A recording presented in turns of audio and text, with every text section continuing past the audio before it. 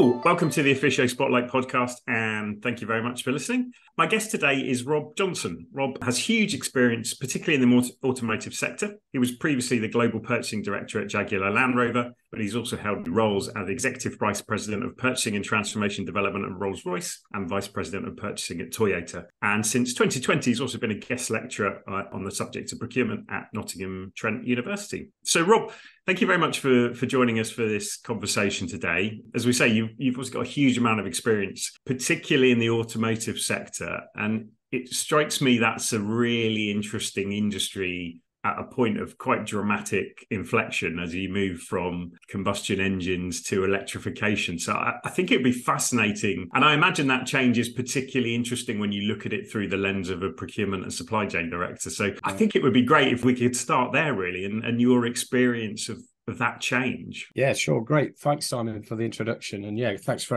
asking me along. As you've explained, I've spent most of my career, shall I say, in the automotive industry, and I can't think of a time in the industry where there has been so much stuff going on and so much change going on, both in terms of short term stuff and challenges, but also as you mentioned and alluded to. I think we're going through in this industry an industrial revolution over the next few years. It's already underway. We know it, we've right. we see a lot of it in the press as we just discussed. We're moving out of internal combustion engine after 120 odd years or whatever it is to electric propulsion, which means right now primarily lithium ion battery type configurations and chemistries. In the automotive industry, that is a revolution because if we think about it very simply from a procurement perspective, if you did a bill of, a bill of material and yep. you said these are the things I'm going to need in an electric vehicle, and these are the things I need in an internal combustion engine vehicle, it's a very different list in summary. I mean, I'll give you just a quick example. We don't need engine blocks, for example. We don't need cylinders. We don't need pistons, or we don't need injectors, or exhausts, or petrol tanks. Let's and right. a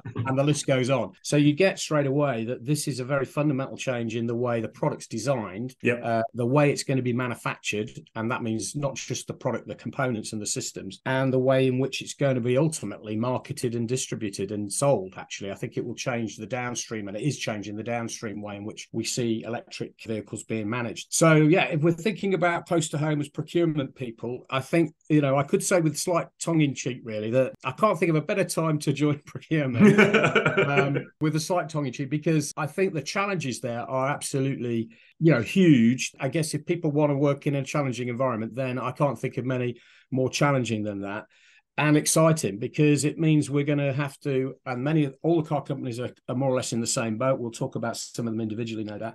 We're going to have to redesign the supply chain. Uh, lots of new suppliers coming in with the new products we're going to need. The list yeah. is different battery cells, battery modules, battery management systems, battery motors, uh, e drives, e transmissions, all these type of new components.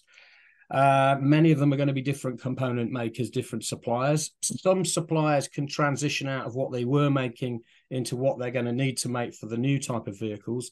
Yeah. Some, unfortunately, may not, which creates, I think, potential risks for supply chain management. How do we manage out uh, the old supply chain and how do we manage in the new supply chains? I've used the words in some of my talks in the universities. It is an industrial revolution. Yeah. Uh, we've not seen such a change since the 1890s, and therefore, you know, it's it's exciting. yeah, yeah, I think um, it's fascinating, and there's there's loads I think it'd be really interesting to unpick. I guess the other thing is I was thinking through that challenge. The automotive sector is huge. The companies you've worked for in the past are, are enormous global organisations with huge operations set up to run a particular thing, i.e., a combustion engine in a car. At the same time, now trying to set up this completely effectively different products, as you say. I'm, I'm just really interested in you know, how how do you even start to plan yeah. for that? Because you, have got to yeah. keep one running, I guess, while you build the other. But uh, yeah. yeah, I'm interested in even the thinking behind that. I mean, you're absolutely right, and this the kind of if you like the technical aspects of how to manage that change are what why I'm saying it's so it's going to be so challenging, particularly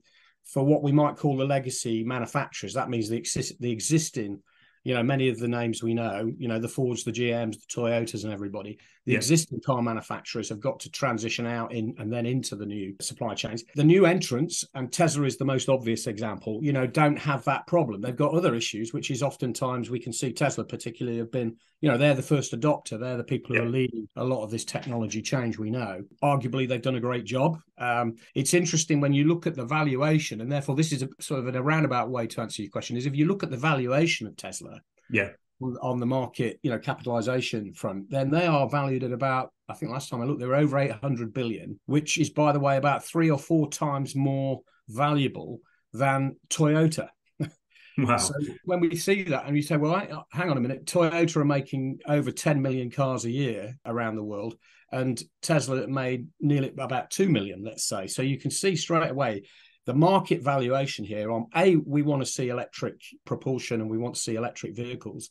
Yeah. But also maybe the, the market also know the degree of difficulty that some of these legacy car manufacturers are going to have in doing what you've just said at the beginning, which is, you know, how do we manage out our supply chain successfully? Yeah. How do we run out all of these products without hitting further supply issues with some of these component factories are making components have got to finish at some point and therefore you know synchronizing that yeah. with all the, the new model out outflow is going to be quite some challenge so i think some of that's priced into some of these differences that we're seeing and i, I have to say i mean i think that some of the legacy car makers may not all be successful because I guess the other thing to note is we've got lots of other new entrants in there. It's not just about Tesla. If I mention some other electric car companies that are growing quickly, particularly in Asia, you may not have heard of them. So right. we, you know, we think about companies like BYD, for example. Mm, I'm not sure everybody's heard about them.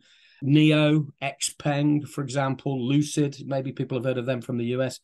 Uh, VinFast from Vietnam have just launched a whole range of electric vehicles. So, in other words, we've got lots of new entrants and we've got yeah. the legacy players trying to manage out with their existing suppliers. So, I think you're right. The focus on how to manage that and that's the challenge it's also the exciting bit i would i would argue yeah, um, yeah, and by the way this is all happening over a very very quick time scale so your listeners have probably read that the european union have, have issued an effective ban on ice vehicles internal combustion engine vehicles by 2035 yep so yeah. that's not long away. That's only about maybe one and a half model cycles away, yeah. if you think about it. So this has got to happen in very short order. And most of the car makers we can see, you know, they've got huge rollouts of new electric vehicle programs coming over the next three to five years.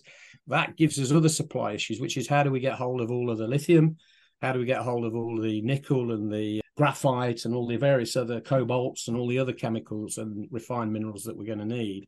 So that's why I keep talking about revolution. And the, the amount of focus on management is going to be very high at board level inside companies. Yeah to see that happen effectively i think you're right. And rob i mean you picked up there on the on the raw materials. I mean presumably the fundamental materials are different between a combustion engine car and an, an electric car. I was interested in, in that perspective which keep saying it a huge change yeah. for the industry right? But yes. presumably before you were buying a lot of materials you're not going to need right? But you're going to need Correct. a bunch of other stuff. No, no you're you're absolutely right simon. So if you think about a car today you know we would be watching the price of from raw material perspective the price of steel particularly. Cars are yep. made of steel steel. We know that. They're also made of aluminium. So steel and aluminium are probably the big kind of influences there. We've got others. We've got plastics, of course. We're probably going to still see plastics in electric cars in big in a big quantity. So that won't change. But we've also got nickel and copper to some extent in existing vehicles. But when we look and you look at the raw material mix of electric vehicle, then suddenly lithium becomes by far and away the most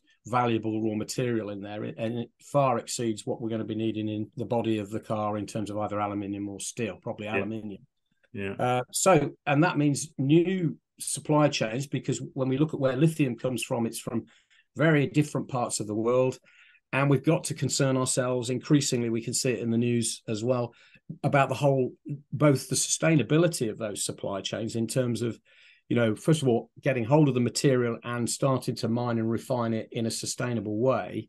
Yeah. There's a huge there's a huge revolution there in the mining industry, I think, to come. But also the I would I would also point to the sort of uh, economic and social impact of what we're doing as well in the industry, which will be, you know, we can hear already issues to do with, you know, the labour conditions, the wage conditions, the whole ethical trading standards between the different parts of the supply chain, the value chain, which means that many of these developing countries, which have got the mining industries in their countries, yeah. you know, we're going to ha- we're going to have to consider. That means the value chain is going to have to consider. Governments are going to have to consider how do we apportion the wealth and the distribution and share of the benefits of moving this industry to a new systematic technology, let's say. So yeah, it's a massive change right down to the mine, if you like, right going back to the mines. Uh, Rob, when you've sat in really senior roles in these big car companies, I'm thinking about this transition. Is it by accident that a number of those car, you know, the new car manufacturers of electric vehicles you mentioned are, you know, are not based in Western Europe? They're not based in the US. Right. Is that coincidence or? No, it isn't really, because if we think about it, you know, an electric car is arguably now becoming an electronic product yeah. increasingly because not only is it got electric propulsion, if you think about it, it's also connect. The whole issue about its connectivity now is is like an electrical device. Effectively, a car. I've heard it described. It's like a mobile phone on wheels now because you're connected to the internet with it. Yeah, uh, that means we can automate the driving systems. So we can see, and of course, Tesla are, are one of the forefront of this. Others will follow in making driving automatic, for example, is what we can do because we can connect it. So they're becoming electronic devices, really, in yeah. the future, in my mind. And of course, the electronics industry left Europe and North America, what, 40 years or maybe more? Yeah, yeah. So yeah. it isn't a surprise. It's not coincidence when we think, well, where do we need to go to get the technology? Where do we need to go to, to get the chemical technology and know how and the electronic know how? The answer is Asia. People in supply chain won't be surprised that we're having to look to places like Korea, like yeah. China, like Japan, like Taiwan, uh, semiconductors, if we think about that issue because that's where the home of the electronics industry has been for the last 30 or 40 years. Yeah. Yeah. Yeah and that's going to change i think it's fair right. to say uh, you're right about it being a political topic as well because we can already see that the us government and maybe the european union will do something similar are already looking at how do they incentivize you know strong incentivization for companies global companies to invest in this you know battery technology semiconductor technology in the region, in inside the US. So you can see huge discussions about the so-called IRA, you know, Inflation Relief uh, Act, which is really yeah. designed to stimulate green investment in in North America. But that potentially is kicking off what we can see in the newspapers, which is almost like a trade war between. Yeah. Between the big power blocks, about can we attract the uh, overseas investment that we need we need to be competitive in the future. So yeah, there's a big stake here because it's a big economic activity in in most countries, as we know. Rob, I guess also, I mean, particularly automotive industry known because there's the big big names at the top, but then they will be sustaining lots of jobs, lots of industries underneath them. Kind of interested in your perspective on on that, particularly from the procurement perspective, right? How? Yeah, it's a good question, Simon, because it's funny. Even if you think about a relatively small car maker like my old company, Jaguar Land Rover, you know, they would be spending some somewhere in the region of 15 to 20 billion pounds a year with suppliers. Yeah. Which is, uh, you know, so when you think about the figures for people like Toyota or Volkswagen, they're going to be even, you know, multiples of that. A company like Jaguar Land Rover, yeah. that's a big sum of money. You're right about from procurement perspective, we as buyers have to think very carefully about that because it has a big economic impact yeah. in the towns and cities and countries and regions where we're placing that business. So we have to have a very sensible approach to the way which we source. You know, switching things out from one supplier to the other takes time technically, but also it has a big impact on the suppliers that you leave. Can mean that factories can, you know, can can disappear. And so you're right, it has a massive economic impact. I saw some figures recently which was showing that if we put car retail and car manufacturing together, you add those two together, then it is probably one of the biggest economic activities in the world. You know, it's, it's larger than pension funds, it's larger than commercial real estate. So it's a big industry and it has a big impact on on economies. Yeah. Yeah. I was also interested. So you're you've you've held these big roles. You've kind of come out now from the I guess the line roles. We, we touched on the fact you're, you're, lecturing, which I'd like to come on to. Yeah. I'm just thinking in terms of you, when you look back on those those roles now, and the audience for this podcast predominantly kind of procurement and supply chain professionals. Any perspectives, any learnings, any anything that distance from from those big roles has given you time to reflect on that that you think others in the profession could. Yeah, it's, yeah, it's a good good question. Thanks for that one, Simon. What I would say to people who are in procurement is, you know, uh, we've touched on it at the beginning. I think it's an, an, an incredibly important topic now for businesses at the yeah. board level. I think over the years it's steadily become more so, but I think it's now got there in a sense. But in other words, because of the business conditions that we're facing, and that means, you know, even daily we can see pricing problems that we've got if we're in purchasing, uh, procurement roles, supply chain roles, and the delivery issues we've hit through the pandemic and all the kind yeah. of recoveries there. And then we add on, which is what we've touched on, which is the whole need to sustain for sustainability and going to to net zero.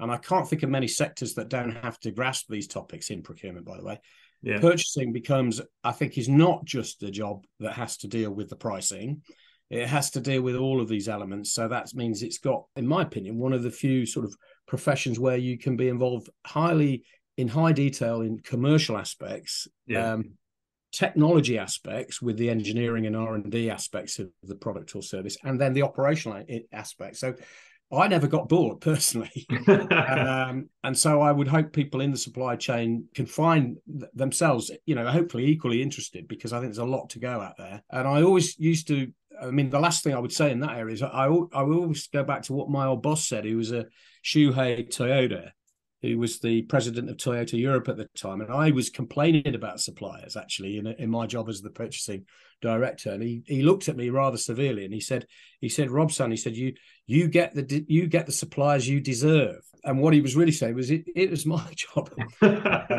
it was my job to improve the suppliers, and I think that's the great challenge of being in purchasing, which is to get more from your suppliers and to do that in the right way.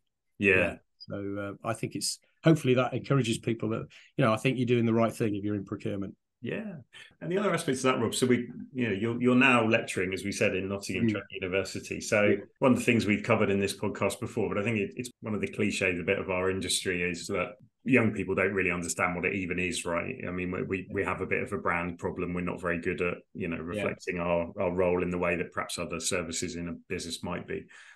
I guess more than anyone, you're very close to that because you're talking to young people who are presumably shown an interest in the topic. Again, interested in your perspective on on that, and maybe a little bit about based on the students you're interacting with, what you what you see for the future. Yes. Are you excited about? Yeah, no, it's a it's a great question, and you're right. I think in the past, you know, most people don't necessarily think about going into the supply chain for their career. I didn't personally. That's going back quite a few years, as you can imagine. But the point is that people go into it once they know a little bit more about it. I think is the answer. I mean, I'm encouraged because, and I, I, work with a number of universities, Nottingham, Trent, you mentioned Nottingham University, Aston, and a few others. And in all cases, there are now either BA courses or, in many cases, MBA courses in, if not supply chain management, then it's in operations management, of which supply chain is so important. So, in other words, I think the good news is people are going into it as a, at a degree level in degree disciplines, yeah, and focusing on supply chain in a way that perhaps 20 years ago they didn't.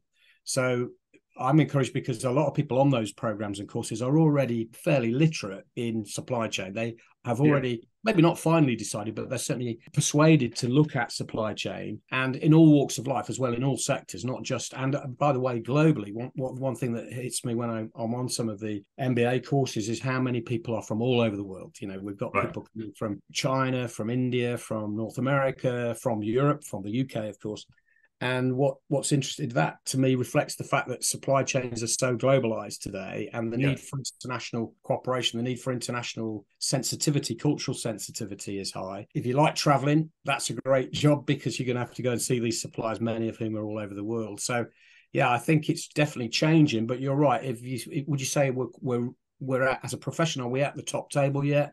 Mm, maybe we've got a bit more to do as individuals and as uh, a profession I think we're getting there. And I think yeah. some of the things we've just talked about, the transitions that are happening, are persuading most CEOs, I think, are now thinking, I better spend more time thinking about my procurement than I have done in the past. So I yeah. think that's good. That's good news if you're in procurement. I suppose in the last few years, the topics of supply chains are genuinely on BBC News or Sky News or NBC or whatever, right? Regularly. Initially, it was COVID, and it's Ukraine war, and you know, it's inflation. Are you finding that that's helped in terms of bringing our profession to people's minds more? Yeah, I think it is, and it's not just people who are studying supply chain. I think other what I've found interesting because I mix with often other faculties and other people lecturing in other parts of, let's say, business school education, which is quite broad as we know, is that people in other areas like marketing and strategy, human resources, all of these other disciplines equally important. Also are much more appreciative and recognize supply chain's importance. So they're looking they're more inquisitive let's say and are asking more questions about what are the sort of principles what are the challenges what are the trends. So we're getting there i think and it's not by chance i think. I think it's because what's happening in the world is now forcing companies effectively to think more about their supply chains in a you know how do we do it more professionally? Yeah. how do we get better results? How do we manage the risks? And how do we achieve the sustainability that we need? So it's a key role I think, for, for the future. Rob, that seems like a great place to draw the conversation to a conclusion. Thank you so much for your time today. Fascinating to talk about the automotive industry and all the change there, but also your, you know, your new world in the new entrance to our profession. So thanks so much for your time. It's been a pleasure. Thanks very much, Simon. Thank you. Thanks for listening to today's episode. If you've enjoyed this podcast, please give us a click on the follow button on your chosen podcast platform. We'd also love to hear your views on either future topics or indeed if you've got any thoughts on future guests that we should look to get onto the podcast. Thanks again. See you next time.